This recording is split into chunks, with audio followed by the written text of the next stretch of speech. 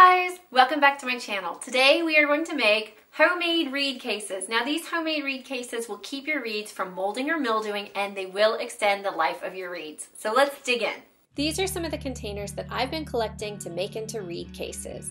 The first thing that I like to do is mark the cases for an air ventilation hole. This allows for the reeds to breathe and to avoid any mold or mildew. My student Shelly drilled the holes for me and then went in with a pair of needle nose pliers to remove any of the additional shavings. I picked up reed foam from Forrests Double Reed and this will ensure that the reeds will not jostle around while I'm traveling, losing an ear or cracking a tip.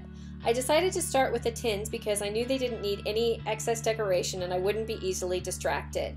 I started by clipping off the end of the foam and then measuring by eye about how much I would need. Once I had that done, I took Gorilla Glue and I smeared it all over the back of the foam, making sure to hit all of the edges to be secure, and then pressed it into place. Not minutes later, I had a working reed case. Next up are these vintage computer disc holders. This was a recommendation to me by my friend Caroline Beson, who teaches over in Georgia. She recommended these and I picked some up off of eBay. Now, I started by using Duco cement to secure the foam, but I do have to say that I went back later and replaced it with Gorilla Glue because it was so much more secure. I find these cases are fun because they allow for decoration with washi tape as well as I was able to break out my sticker collection.